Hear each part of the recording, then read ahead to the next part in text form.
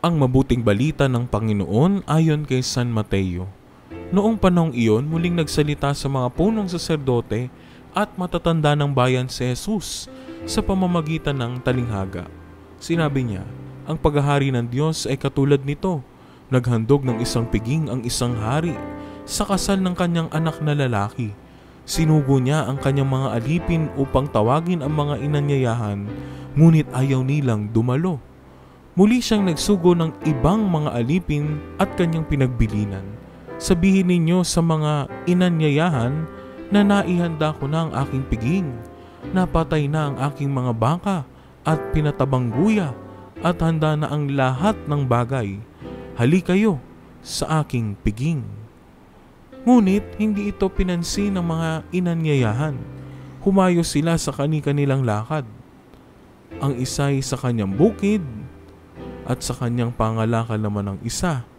Sinunggaban naman ng iba ang mga alipin, hinamak at pinatay. Galit na galit ang hari. Pinaparoon niya ang kanyang mga kawal. Ipinapuksa ang mga mamamatay taong iyon at ipinasunog ang kanilang lungsod. Sinabi niya sa kanyang mga alipin, nakahanda na ang piging, ngunit hindi karapat dapat ang mga inanyayahan. Kaya't pumunta kayo sa lansangang matao at inyong anyayahan sa kasalan ang lahat ng makita ninyo. Lumabas nga sa mga pangunahing lansangan ang mga alipin at isinama ang lahat ng natagpuan. Masasama't mabubuti, ano pat napuno ng mga panauhin ang bulwagang pangkasalan. Pumasok ang hari upang tignan ang mga panauhin at nakita niya roon ang isang taong hindi nakadamit pangkasalan. Kaibigan, bakit ka pumasok dito nang hindi nakadamit pangkasalan? Tanong niya. Hindi nakaimik ang tao. Kaya't sinabi ng hari sa mga katulong, Gapusin ninyo ang kanyang mga kamay at paa at itapon siya sa kadiliman sa labas. Dooy mananangis siya at mangangalit ang kanyang mga ngipin, sapagkat marami ang tinawag, ngunit kakaunti ang nahihirang.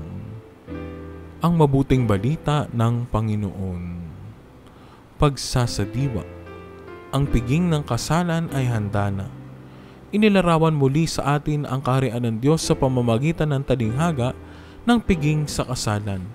Ipinaalam sa atin na ang kaharian ng langit ay para sa lahat ng tao.